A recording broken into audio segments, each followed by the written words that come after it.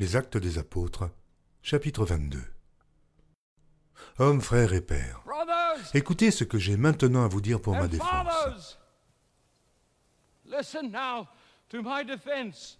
Lorsqu'ils entendirent qu'il leur parlait en langue hébraïque, ils redoublèrent de silence et Paul dit. Je suis juif, né à Tars en Cilicie, mais j'ai été élevé dans cette ville-ci et instruit au pied de Gamaliel, dans la connaissance exacte de la loi de nos pères, étant plein de zèle pour Dieu, comme vous l'êtes aujourd'hui.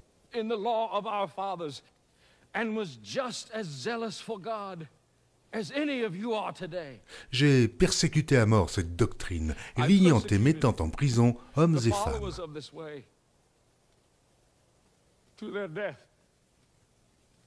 Arresting both men and women and throwing them into prison. Le souverain sacrificateur et tout le collège des anciens m'en sont témoins. J'ai même reçu d'eux des lettres pour les frères de Damas, où je me rendis afin d'amener liés à Jérusalem ceux qui se trouvaient là et de les faire punir. Quand j'étais en chemin et que j'approchais de Damas, tout à coup, vers midi, une grande lumière venant du ciel resplendit autour de moi. Je fell tombais to par terre et j'entendis une voix qui me disait Saul, Saul, pourquoi me persécutes-tu?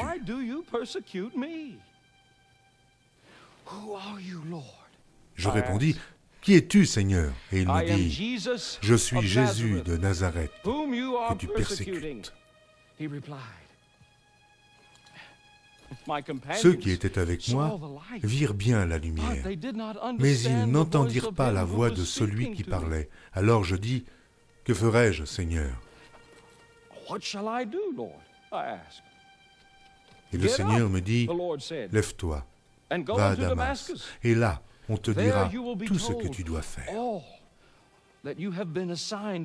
Comme je ne voyais rien à cause de l'éclat de cette lumière, ceux qui étaient avec moi me prirent par la main et j'arrivai à Damas. Or, un nommé Ananias, homme pieux selon la loi, et de qui tous les Juifs demeurant à Damas rendaient un bon témoignage, vint se présenter à moi.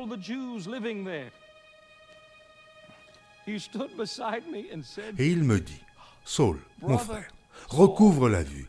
Au même instant, je recouvrais la vue et je le regardais.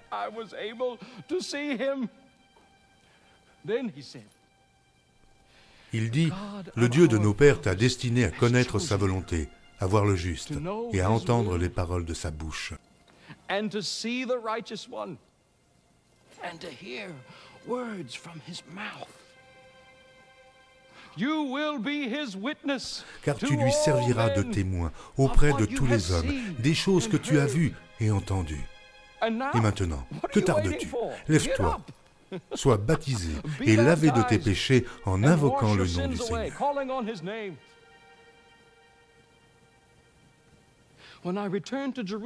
De retour à Jérusalem, Comme je priais dans le temple, je fus ravi en extase. Et je vis le Seigneur qui me disait, Hâte-toi et sors promptement de Jérusalem, parce qu'ils ne recevront pas ton témoignage sur moi. me. Lord, I replied, these men know that I went from one synagogue to another.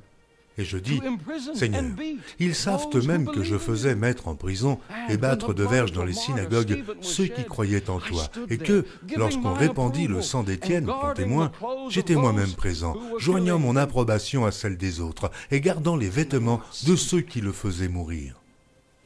Alors il me dit, Va. Je t'enverrai au loin, vers les nations. Ils l'écoutèrent jusqu'à cette parole. Mais alors, ils élevèrent la voix en disant Hôte de la terre homme Il n'est pas digne de vivre. Et ils poussaient des cris, jetaient leurs vêtements, lançaient de la poussière en l'air. Le tribun commanda de faire entrer Paul dans la forteresse et de lui donner la question par le fouet, afin de savoir pour quel motif il criait ainsi contre lui.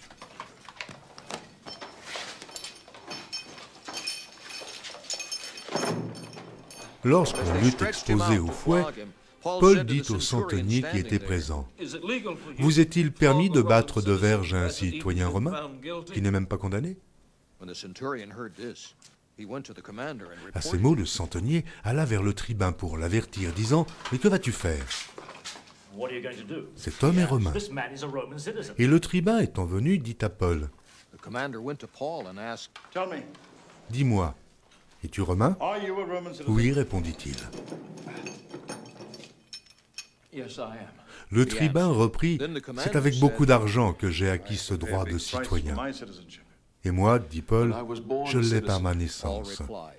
Aussitôt, ceux qui devaient lui donner la question se retirèrent, et le tribun, voyant que Paul était romain, fut dans la crainte, parce qu'il l'avait fait lire.